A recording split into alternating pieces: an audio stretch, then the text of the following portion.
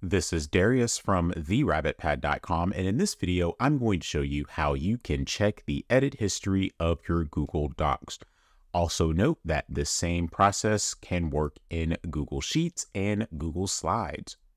So I have a document here with some random text, and let's suppose I want to track the changes that I've made over time. What you do is you click on File, and then you click on Version History you have the option of naming the current version, but we'll worry about that later. In order to see the history, you're going to click See Version History. And then this column will open up here on the right, showing you the different versions of the document. Since the only person who's edited this document is me, only my name will appear. But if you have a shared document with other people, their edits will also show in this column.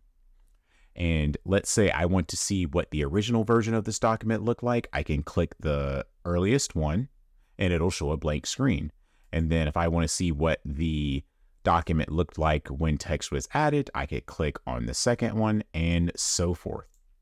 You can also name different versions of the file. So if you wanted to name this Wednesday, you could do that. And you can also restore previous versions of edited documents as well.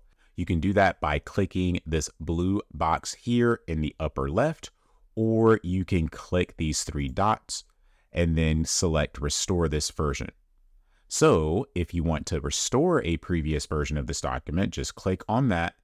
Then this box will appear and it will revert the document to that version. So if you are sure you do not want the latest information in that file and you want to restore it to a previous time, then click restore and then that document will look the way it did at that time. If you just want to make a copy of a previous version, you can also do that by clicking on these three dots, then clicking and make a copy, and then it will ask you where to store that copy.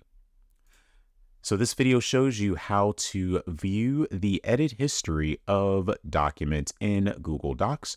And remember, this also applies in Google Sheets and Google Slides. If you found this video helpful, please click that like button and subscribe to this channel to view more helpful videos in the future. Also, please be sure to visit my website at therabbitpad.com.